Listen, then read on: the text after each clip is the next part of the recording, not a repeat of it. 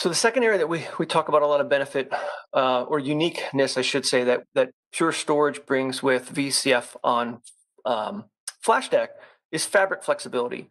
And what we mean by that is that today, if you look at HCI options, your only deployment choices is, is uh, Ethernet. And there's a lot of customers that have investments in fiber channel. There's a lot of customers who have preferences over their storage platforms that they want to use. Um, and what we're doing is enabling customers to run on any fabric that they want, um, support any type of deployment that they want, whether it's VMFS or vVols, um, and to be able to leverage those investments that they have or to deploy on the preferences that they have and not force them to, to move onto a different fabric. We also believe that um, our architecture is future proof. So if customers want to move from one fabric to the other, they can do so non disruptively with this architecture um, whether that's fiber channel to iSCSI or to a next generation pro- storage protocol like NVMe over Fabric. Now, I, I, I do want to level set with everyone. Um, what you see on, on your screen here is the supported protocols from vSphere. But protocol support is a little different when you get into VCF. And so we've updated this slide to represent VCF 4.1. And so I want to share with you um, the different types of support and what the, those definitions mean with VCF. So there's a, a notion of what's called principal storage. Principal storage is um, all the, the, the deployment types that are, are highlighted on your screen here, vSAN, NFS, VMFS with fiber channel, and any form of vVols.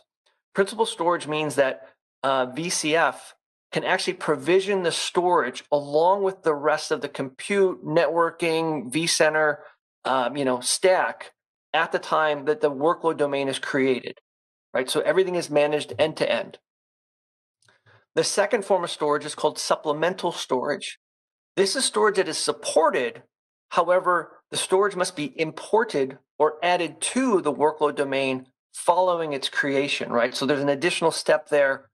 Um, the the um, support for principal and supplemental storage is an ever evolving engineering effort from VMware.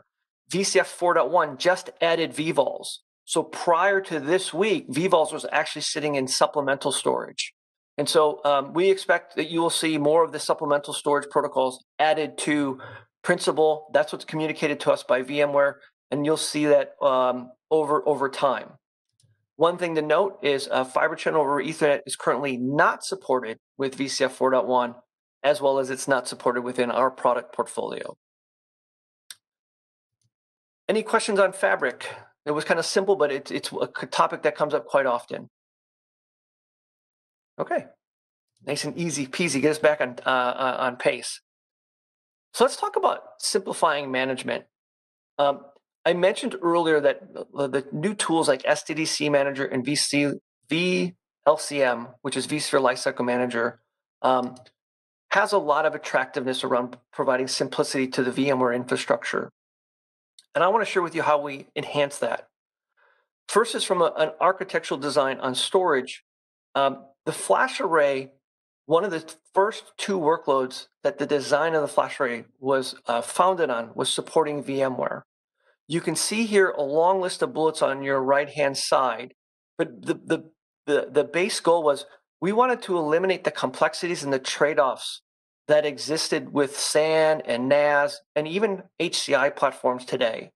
Um, this means all of our data set features are on, meaning all the data is reduced, it's uh, all encrypted, we've got automatic QoS, um, as well as um, we, we deliver consistent performance through failure and maintenance, right? That's part of the, the, the architectural design of the array.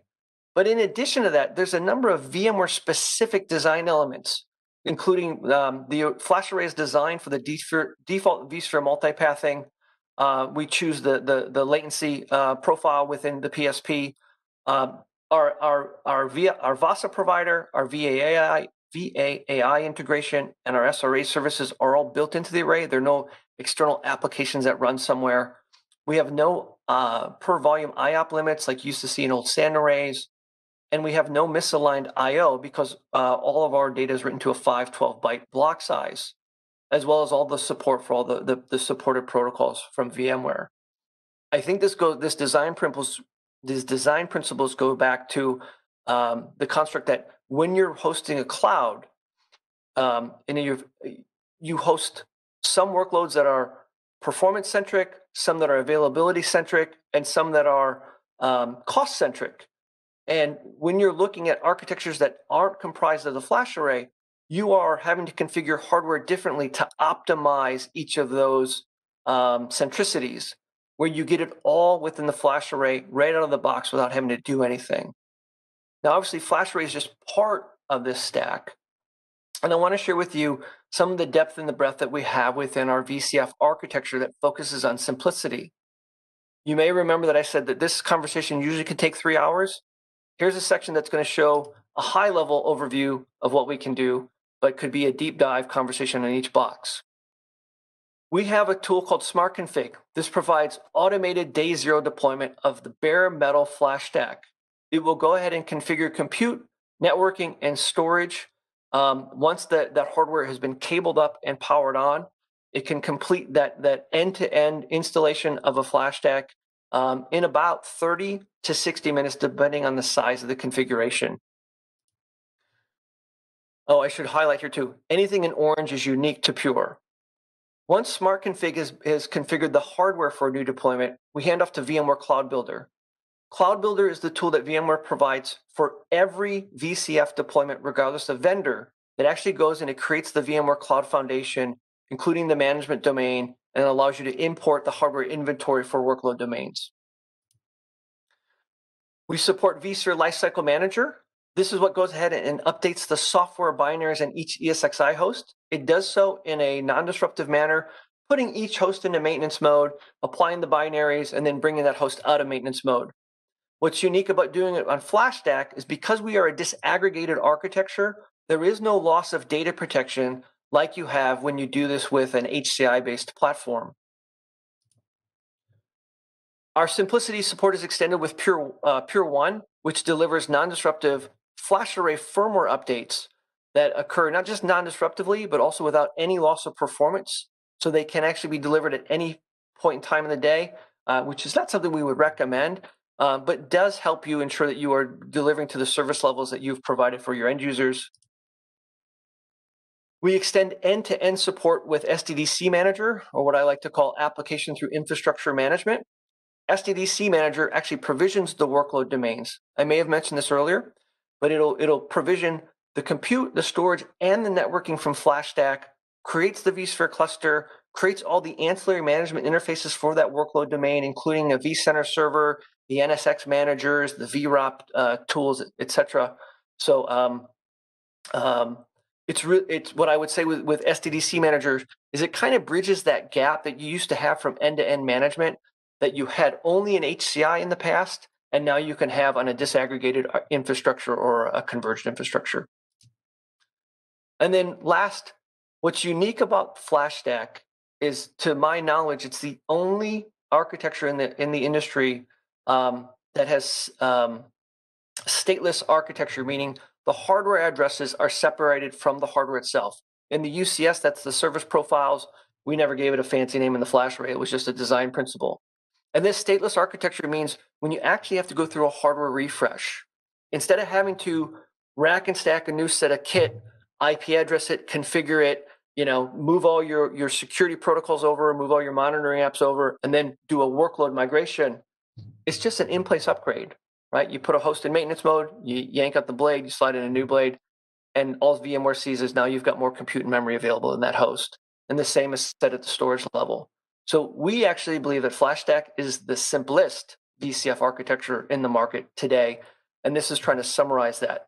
Now, I believe, Kyle, you've got a demo to show us.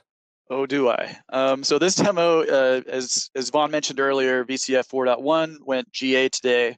So we just wanted to show you guys quickly, guys and girls, quickly what um, what a vVols-based workload domain deployment looks like. Um, so if, if you want to go ahead and play it, I think one of the new things. Oops, we. Oh, You're fine. All right, cool. So so one of the new things that's in SDDC Manager, we can see storage settings right? So within storage settings in SDDC manager, we're going to be able to add a VASA provider, right? VASA providers are required for vVols. Um, so what we're going to go ahead and do is give the VASA provider uh, IP address. It's a controller um, IP address. It's not a port. It only does single controller support for now. Uh, we'll give it a name. Uh, we will give it, a, in my case, a pure vvols, which is an array admin username and that password. Uh, it has to be vvol container um, for now, at least. And then you can see there's a list of protocols to select. Um, we're really excited because this is the first time iSCSI has been uh, supported as well. So there we can see we've got our VASA um, provider registered. Um, the other thing we have to do is go into the array and connect our pure protocol endpoint to the workload domain host group that we are going to create. Um, so this one we'll call uh, VCF sisters. So that's now that the pro pure protocol endpoint is connected, um, we go down to it, just there it is. You can see the endpoint is there and connected. Now we hop back over to SDDC Manager. Again, we'll commission these hosts. This being 4.1, um, we can see that uh, now we've got a vVol storage type as well. Um, by the way, we are very honored and humble to have been a design partner for VMware for this new product. Uh, it's super exciting for us. Um, so as you can see, we selected the fiber channel storage uh, type. Uh, we'll go ahead and add that host. Um, I skip here just to add uh, the other three hosts that are going to be part of this workload domain in the interest of time. As everyone saw before, we validate everything just to make sure that you know everything's good on these ESXi hosts before we commission them into SDDC Manager inventory. Um, you can see there too, storage type is now vVol.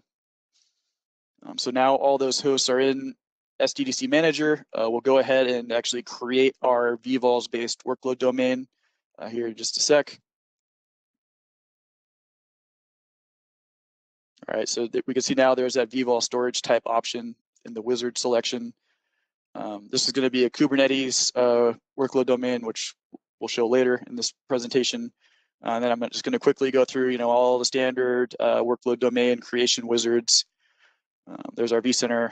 Uh, we're standing up NSXT here as well, um, which you have to do as part, which you have to do now is uh, part of workload domain deployments. Um, we got our managers all in there. Um, and so here's the new interesting thing, right? So now we select our vVol protocol, that VASA provider that we registered earlier, um, that vVol container, our user, and then we give it a name. We'll call this uh, vVols FC workload domain one. Um, now that will match with whatever hosts, you know, it matches up with um, those three that we used in this case. Uh, we select them, and then uh, again, not going to share my licenses, sorry. Uh, and then we click next, and then we click finish to build this workload domain. Um, since there's no existing uh, NSXT instance here, um, it does take about an hour-ish, you know, to kind of build everything up because NSXT does take a while to deploy. If you join a workload domain to an existing NSXT instance, in my experience, it's about 30 to 45 minutes. That's end to end, right? That's everything being deployed. Um, and we can see, you know, there's some tasks here. It's deploying uh, our vCenter instance. Um, skipping ahead, um, we've now deployed vCenter. And last thing I wanted to show is that, you know, we can, we're, we're actually creating our vVol data stores here, you know, which is good. Um, and then as we can see, right, under storage providers, uh, there is our FlashArray VASA provider that we registered. Um, the only other step that we highly recommend doing, we've got KB articles and longer demo videos that show how to do this, is registering the other storage provider against this. Um, just you know to have that failover capability. And you can do that with our uh, vSphere web client plugin. Um, and anyway, yeah, and there's our vVol data store as well.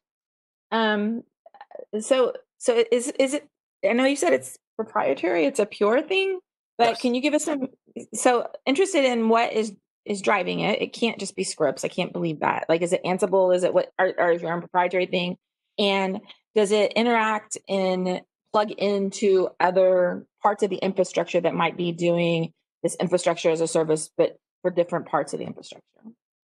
Yeah. So Gina, um, it's good to hear your voice. Um, hey, and, great, and, and, great question. And I don't have all the answers. Maybe Kyle can jump in here, but um, um you know the, the, the industry always kind of moves in in different segments right and and one of the things that um, i think if you look um, at the the life of like providing infrastructures under vmware deployments right we kind of went through like the the vendor based you know engineered system like vblock and then we kind of moved to like reference architectures that were validated and they were more flexible and then you kind of had hci come up and it was like like nobody really cares that hci co-locates compute and storage.